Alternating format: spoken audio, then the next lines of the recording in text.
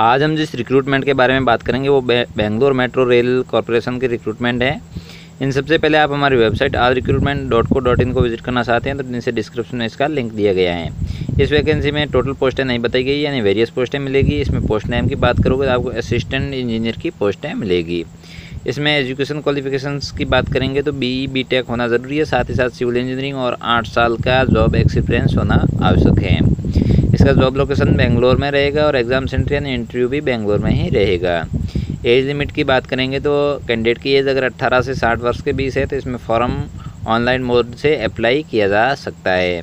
इसमें फॉर्म भरे जाने की स्टार्ट डेट है, वो तीस सात दो हज़ार अट्ठारह से स्टार्ट हो चुके हैं, जिसकी लास्ट डेट है वो इकतीस आठ दो हज़ार अट्ठारह तक रहेगी। इस वैकेंसी में एप्लीकेशन फ़ी की बात करेंगे तो सभी कैंडिडेट के लिए कोई फ़ीस नहीं लगेगी। इस वैकेंसी में ऑल ऑफ़ आवर इंडिया का कैंडिडेट फॉर्म अप्लाई कर सकता है। इसमें सिलेक्शन प्रोसेस इंटरव्यू के माध्यम से होगा।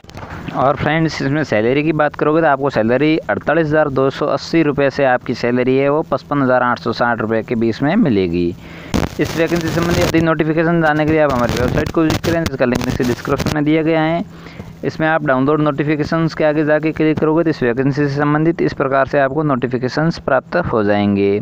ऑनलाइन मोड से फॉर्म अप्लाई करने के लिए आप ऑनलाइन अप्लाई नाउ के आगे जाके क्लिक करोगे तो आप ऑनलाइन फॉर्म भरे जाने के पोर्टल को विज़िट कर लोगे, जो इस प्रकार से रहेगा। तो दोस्तों, अगर आपको ये वीडियो अच्छा लगा तो वीडियो को लाइक करें और हमारे चैनल को सब्सक्राइब ज़रूर करें।